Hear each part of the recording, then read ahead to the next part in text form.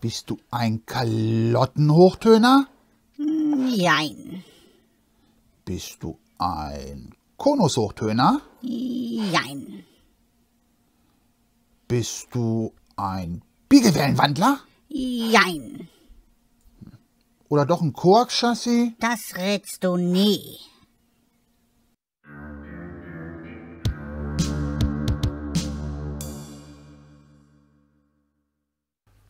Hallo, moin moin, Servus, Grüß Gott, wo auch immer herkommt, in Franks Werkstatt der Lautsprechertechnik.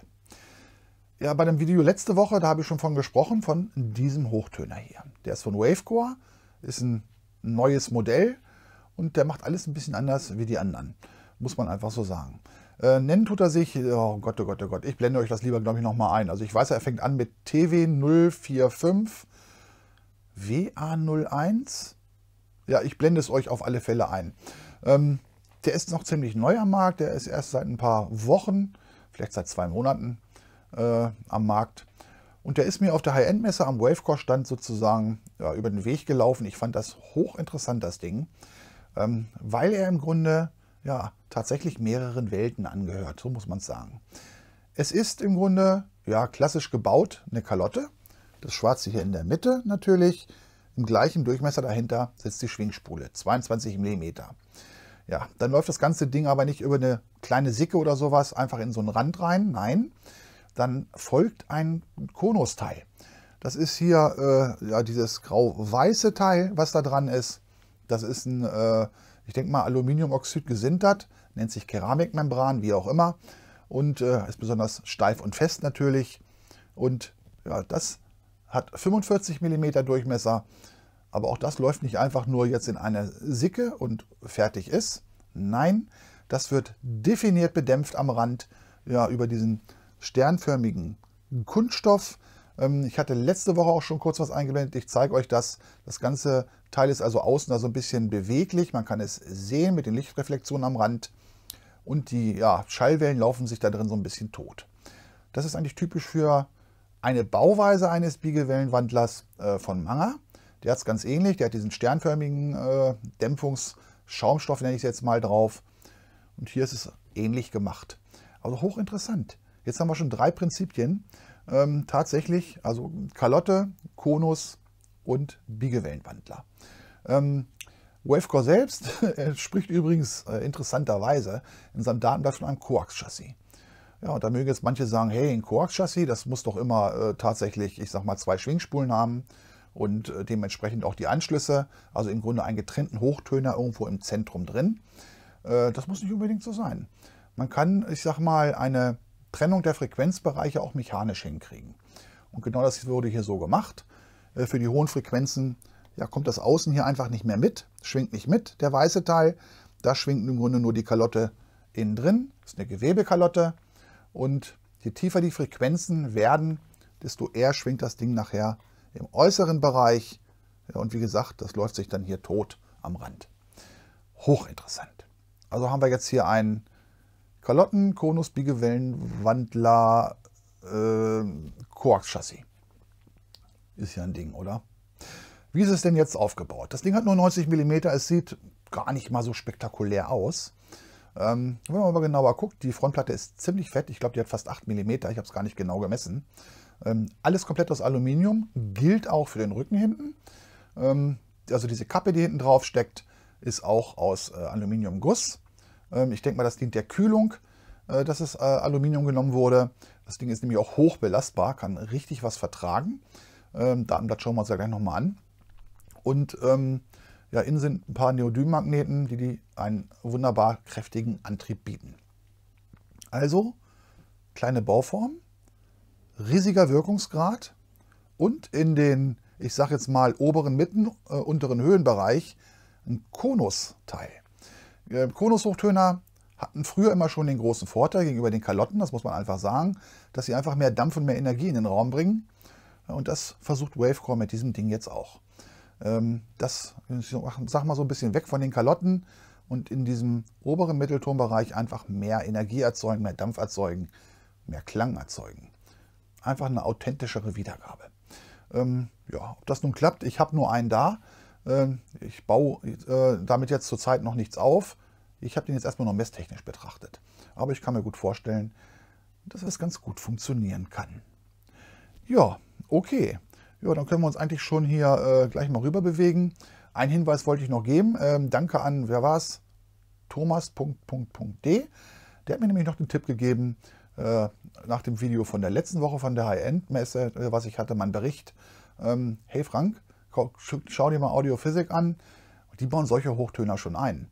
Und ähm, ja, ich habe es zwar kurz gesehen auf der Messe, aber richtig wahrgenommen habe ich es nicht. Also nochmal danke an Thomas, dass du mich darauf hingewiesen hast, weil es scheint tatsächlich so zu sein, dass Audiophysik auch zu, solcher, zu solchen Hochtönern jetzt übergegangen ist und sowas benutzt. Und ich meine, die Güte der Audiophysik-Boxen sollte ja bekannt sein. Also fand ich auch ja, eigentlich ziemlich interessanter Hinweis von ihm. Danke dir nochmal. So, und jetzt habe ich, glaube ich, erstmal genug gefaselt. Wir gehen mal rüber an den Rechner, schauen uns Messwerte an, gehen auch über das Datenblatt rüber, schauen uns da, ich sag mal, ähm, Belastbarkeiten an, die oberhalb der 1000 Watt liegen. Unfassbar. Wie, wie soll das jetzt wieder machen, der Kleine?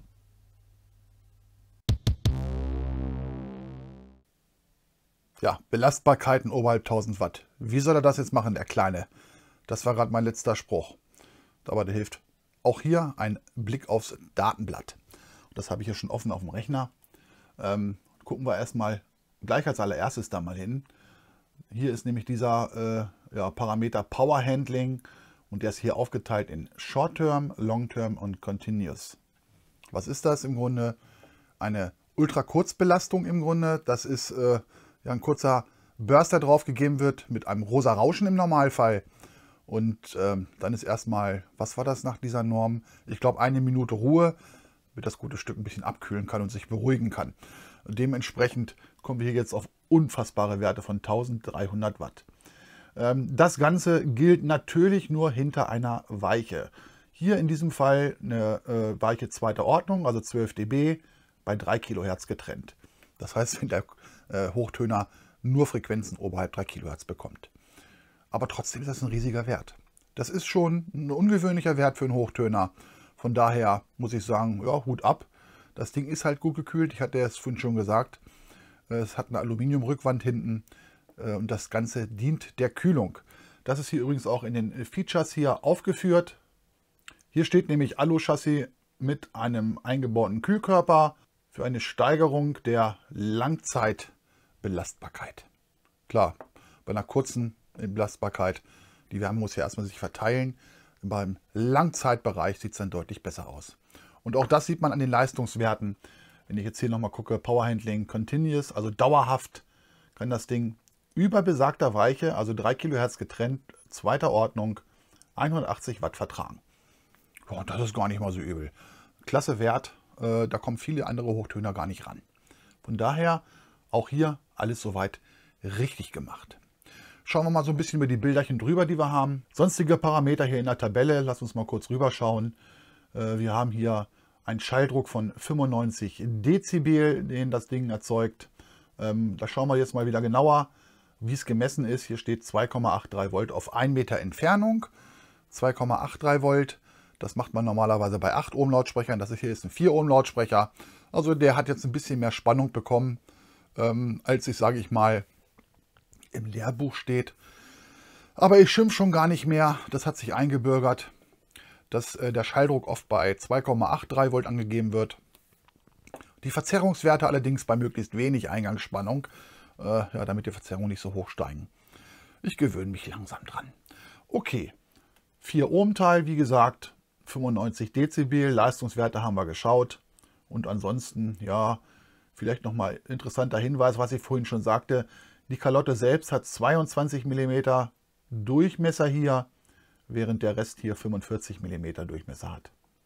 Ja, also betrachtet das Ganze, ähm, ich sag mal, Wavecore als wirklich als Quark-Chassis.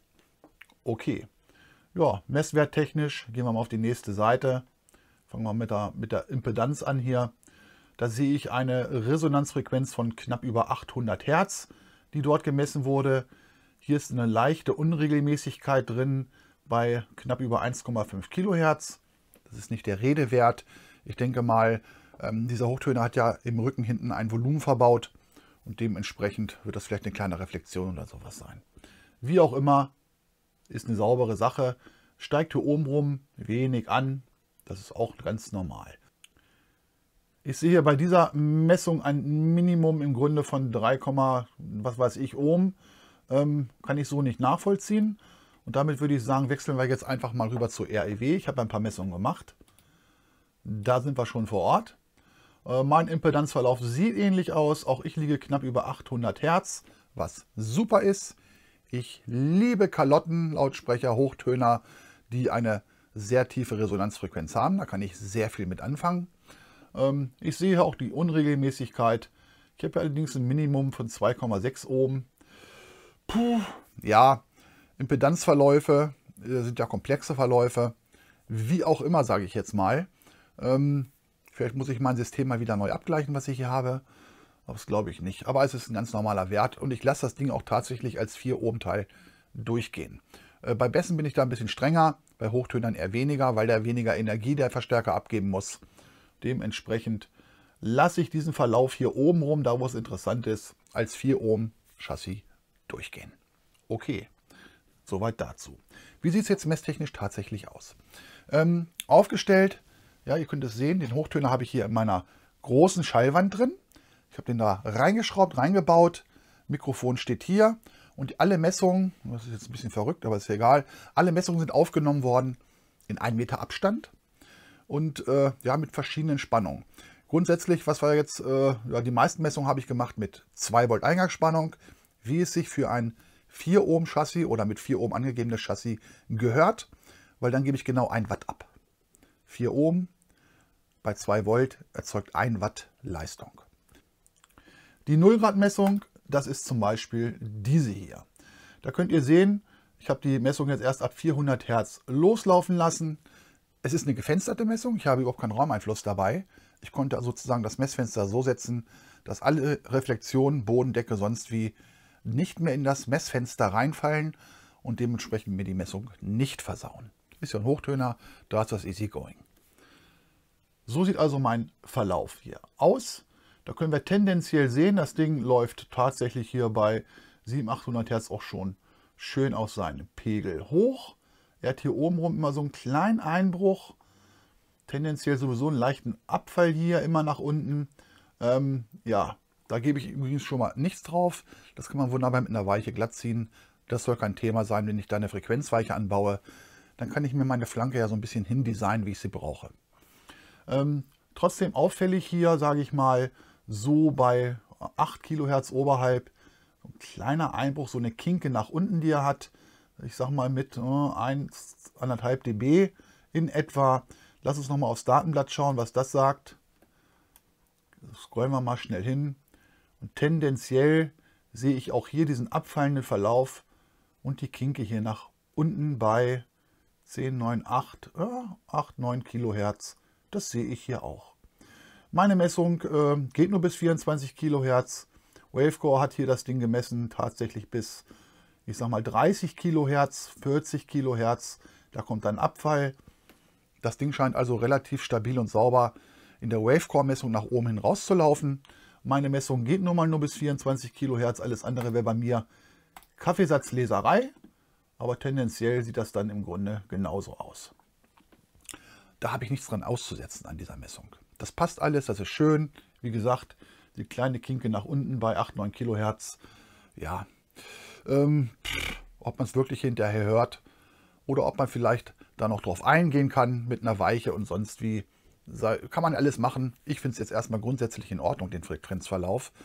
Gerade auch, äh, wenn ich berücksichtige, äh, ja, ich sag mal, welche Art das Chassis ist, mit diesem völlig verrückten Aufbau, mit, dem, äh, mit der Kalotte plus Konus, äh, diese Einspannung, dieser Ring am Außen, da steckt schon eine Menge Know-how hinter und das, denke ich mal, haben die ganz gut hingekriegt.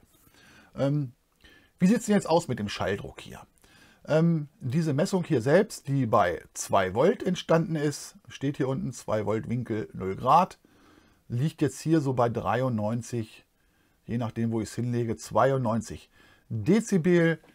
Im Datenblatt waren 95 angegeben, das Ganze aber bei 2,83 Volt. Okay, wir können einfach mal 3 dB raufrechnen, dann passt es wieder.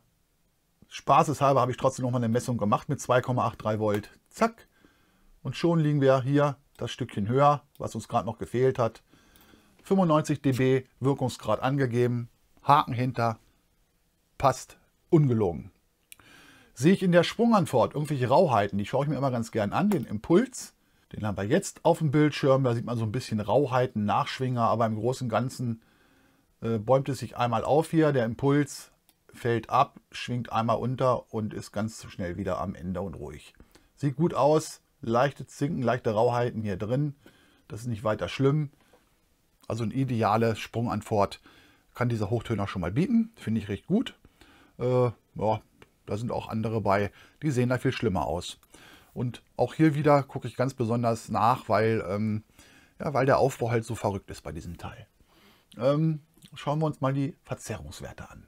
Also jetzt bei 2,83 Volt gemessen, was dann ja schon, ich sag mal, einen Tacken mehr ist, ähm, ja, als die 2 Volt, die man bei einem 4 Ohm Teil nehmen sollte. Und wenn ich mir das mal so anschaue, dann sehe ich hier ich sag mal, wenn er sich, äh, ja, wenn er langsam in seinen Übertragungsbereich hier eintaucht, dann geht er erstmal sehr, sehr gering los mit 0,2% Verzerrung.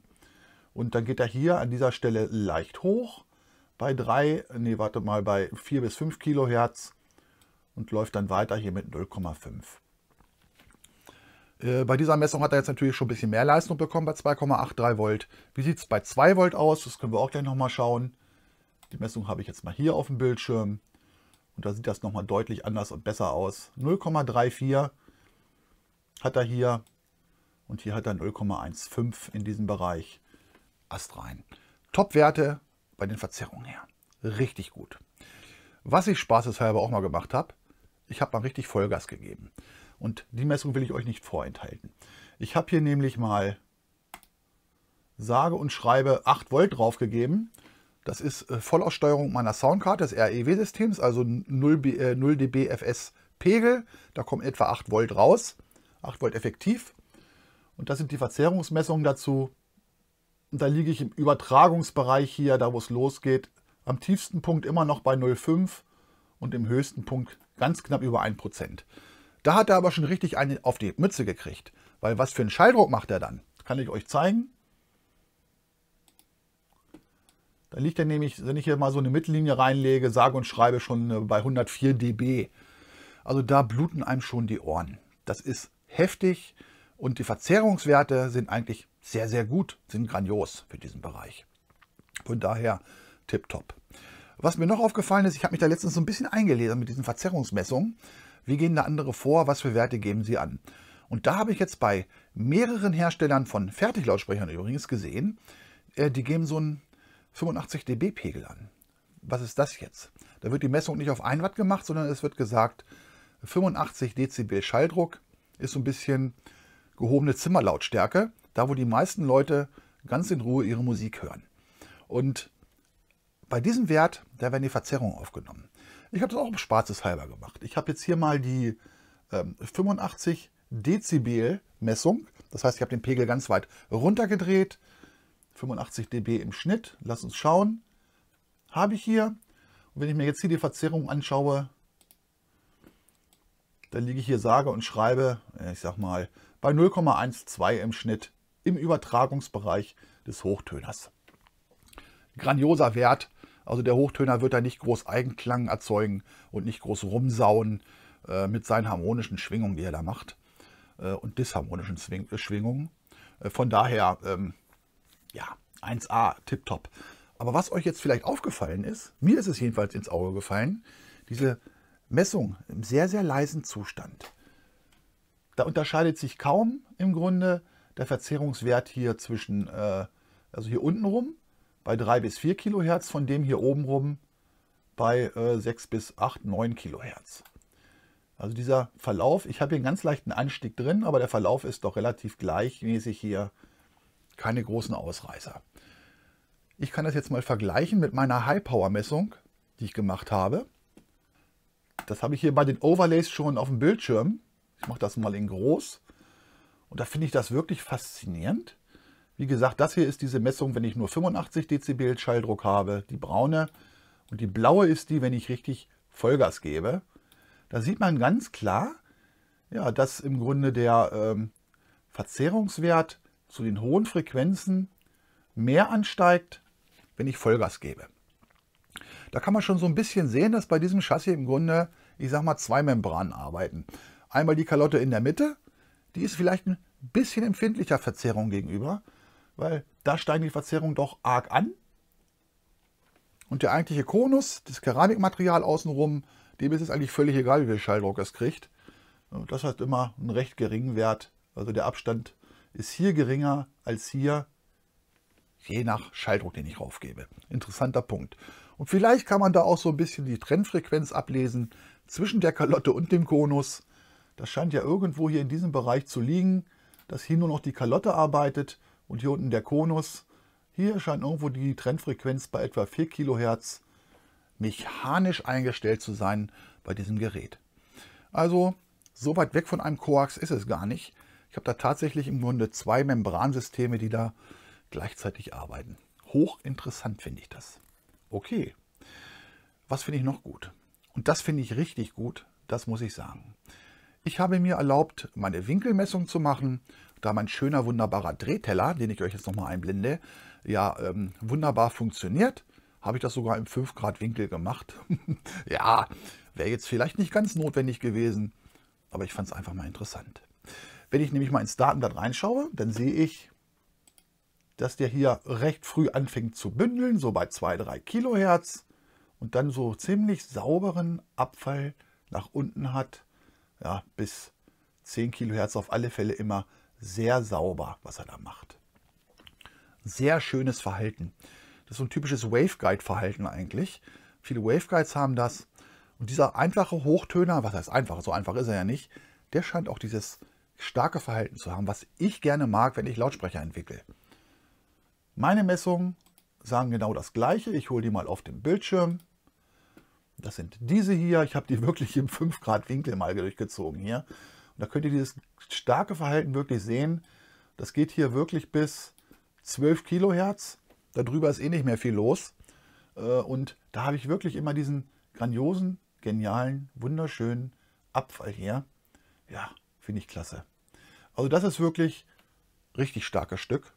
Und damit habe ich richtig Bock, was zu machen.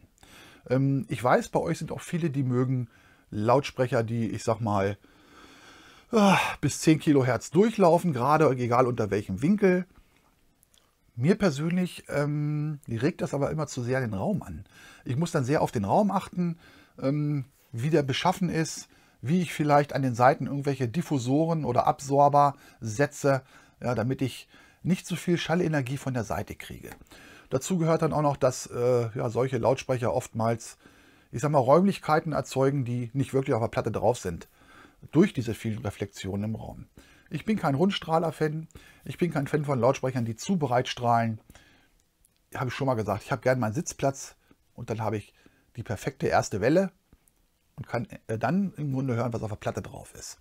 So höre ich und dieser Hochtöner der scheint das wirklich auch, ich sag mal, mir so wiedergeben zu können, wenn ich mir diesen Abfall anschaue. Er fängt früh an und dann macht er das ganz, ganz gleichmäßig. Richtig schön, richtig klasse. Finde ich gut. Was ihr sonst auch immer noch sehen wollt, ist das Wasserfalldiagramm. Das kann ich euch noch mal auf den Bildschirm holen. Zack, so, da habe ich es. Ja, was sehen wir? In dem Bereich, wo er oben hier eh seine kleine Kinke nach unten hat, zeige ich euch nochmal, also hier in, diesem Bereich, da fällt er dann auch leicht verfrüht ab. Gehen wir nochmal hin. Ja, also er ist immer ein bisschen, äh, schwingt etwas schneller ab hier an dieser Stelle. Ist nicht der Rede wert, würde ich sagen. Ansonsten ist es eine gleichmäßige Geschichte im Bereich seiner Resonanzfrequenz. Gehen wir mal hin, die lag ungefähr bei 800 Hertz. Ja, fällt er hier so ein bisschen verspätet ab. Ist kein Wunder, da ist die Resonanz, ist aber außerhalb des Übertragungsbereiches. Was sehe ich sonst noch? Hier hinten sehe ich nochmal eine leichte, leichte Verzögerung hier bei 1,5 Kilohertz. Da ist er auch nochmal leicht verzögert am Abfallen. 1,4 und. Ach so, lass uns mal auf den Impedanzverlauf gucken. Den hatten wir ja hier. Ja, 1,4, 1,5. Das ist genau, wo er hier noch diese kleine Kinke hat. Wie gesagt, wahrscheinlich irgendeine Resonanzerscheinung innerhalb des, des kleinen Gehäuses, obwohl 1,5 Kilohertz. Wie auch immer, gebe ich nichts draus. Das Ding fällt schnell ab, fällt sauber ab und gut ist. Da beißt die Maus keinen Faden ab, das passt. Also auch beim Wasserfall gibt es bei mir nichts zu meckern. Sieht gut aus. Kann man machen. Ja, also alles in allem ein hochinteressantes Chassis für mich. Ähm, ich habe da richtig Bock, was mitzumachen. Hab, wie gesagt, nur ein Chassis zurzeit hier. Das war ja das Messemuster. Ähm, was sagt ihr? Schreibt es mal unter, unten in die Kommentare. Soll ich damit was machen? Soll ich damit eine Box bauen? Die darf dann auch ruhig ein bisschen high-endiger werden, denke ich mal. Und warum sage ich das? Schaut mal auf den Preis. Ich habe ihn schon auf dem Bildschirm hier. Das gute Stück ist jetzt erstmal eingepreist mit 275 Euro. Das ist nicht wenig für so ein kleines, unscheinbares Ding, das weiß ich. Ähm, aber ich denke mal, in der Summe aller Eigenschaften, Belastbarkeit, Schalldruck, Verzerrungsverhalten äh, und ich denke mal auch die Dynamik, die da letztendlich rauskommt, ähm, ist es unter Umständen ein schönes kleines Projekt wert, muss ich mal sagen. Also 275 Euro zurzeit. Ja, ich weiß, teuer, teuer. Schreibt es mir einfach mal, was ihr von dem Ding haltet. Und ja, dann wollen wir mal gucken, ob ich damit irgendwie weitermachen. Okay. Ja, dann soll es das erstmal für heute wieder gewesen sein. Ähm, wie geht's weiter? Ich mache mal so ein bisschen Platz. Da könnt ihr hinter mir schon was stehen sehen. Ähm, damit soll es auch weitergehen. Was das ist, das wissen alle die, die den Kanal schon ein bisschen verfolgen. Ich habe es nämlich schon mal erwähnt, dass ich da auf ein ganz bestimmtes Gerät heiß bin. Und ich habe sie im Grunde aufgeschraubterweise schon auf meinem Messplatz stehen. Da bin ich schon bei. Auch das wird kommen. Könnt ihr auch mal raten, was es ist, was es ist und unten unterschreiben. Okay, alles klar. Soweit, ich bin soweit durch. Macht's gut. Bis nächstes Mal. Ciao.